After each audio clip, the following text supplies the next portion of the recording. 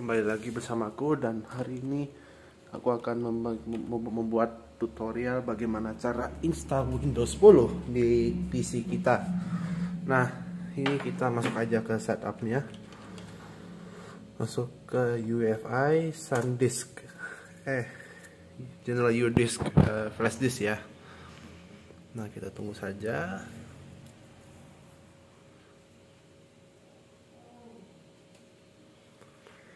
Ini saya tukarkan apa SSD yang awalnya 240 di sini saya terpasang 512 ya di sini. Dan kita tunggu saja masuk ke setup Windows-nya ya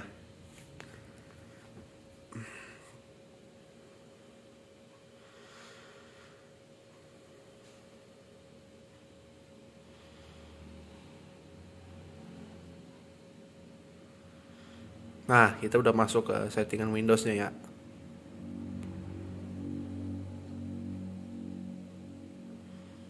Nah, di sini ada time and currency formatnya kita ganti. Di sini ada language to install you English United States. Kita ubah ke Indonesia.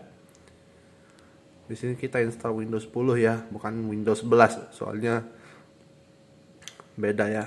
Oke, kita klik next lagi, install now.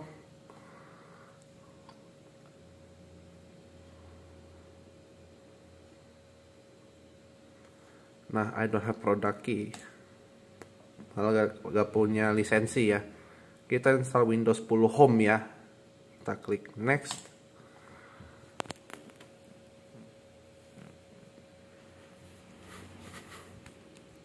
I accept all license terms.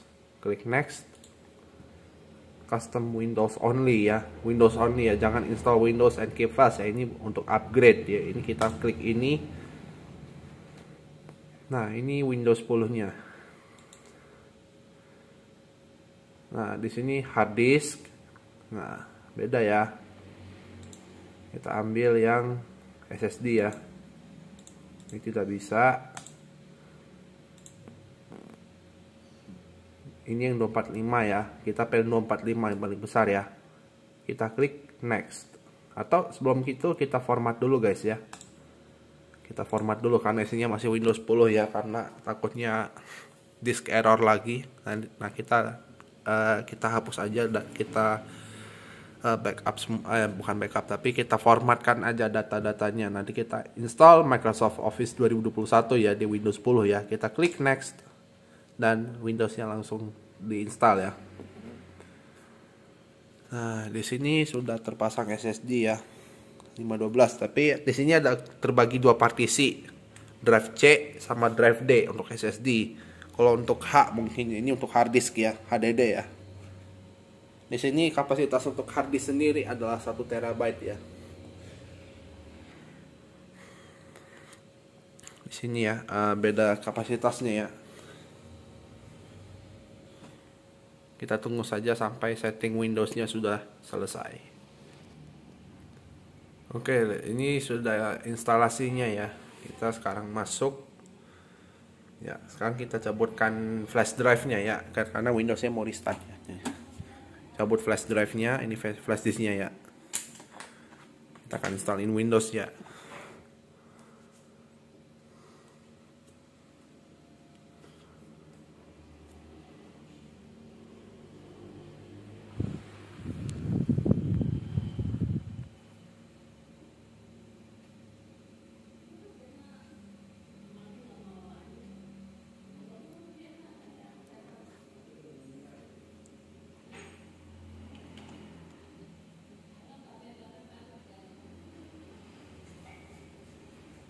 Nah, sini aja, enter.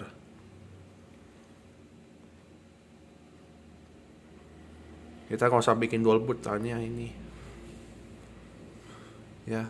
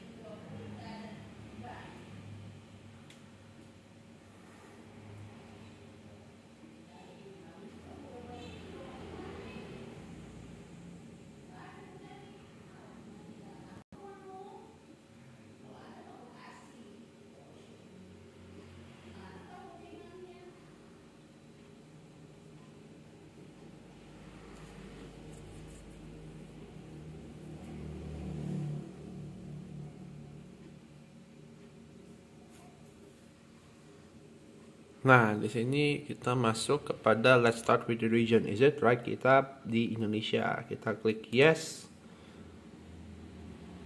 Nah, kita klik yes aja udah ikutin aja. Kita skip. We have now Nah, ini berbeda dengan Windows 11 ya. Ini karena Windows 11 ini memiliki animasi ya. Dengan Windows 10 ini dia tidak tidak menggunakan uh, animasi seperti Windows 11 tadi ya. Yang waktu kita pernah install itu.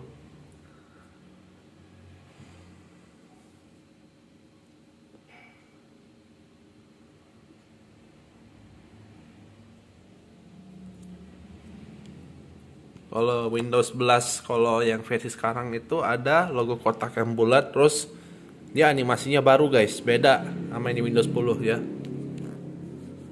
Dia animasinya baru guys kalau buat booting ya. Ya semoga tidak disk error lagi ya. Nah, aman. Tadi pantesan disk error. disk checking akhirnya selesai juga. Oke, okay, choose privacy setting for your device. Kita klik langsung acceptkan aja semuanya udah ikutin aja. Nah udah masukin ya. Oke masuk. Wih cepet juga ya. Masuk Windowsnya cepet. Rada cepet sih. Kadang-kadang kalau install Windows kalau pakai harddisk itu lambat.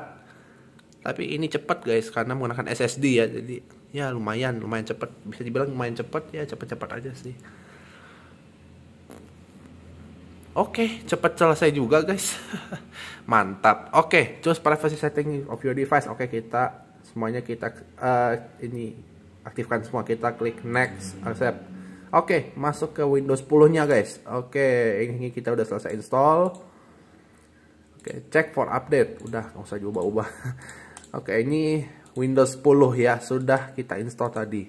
Oke, demikian video singkat cara install Windows 10 dan uh, teman-teman yang bisa menonton juga. Ini baru pertama kali bikin, bikin video install Windows 10. Uh, eh, biasanya kita bikin install untuk Windows 11 ya. Kali ini kita install yang buat Windows 10. Oke, demikian video kita kali ini. Jangan lupa like, comment, share, and subscribe ke channelku. Terima kasih. Bye-bye.